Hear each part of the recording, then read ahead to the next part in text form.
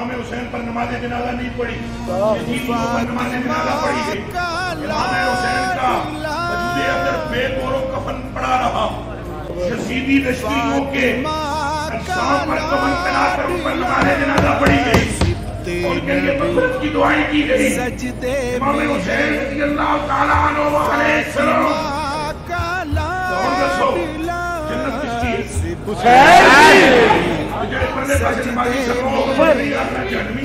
हाय हाय। भी थे और क्या थे? वो भी देते थे? और क्या थे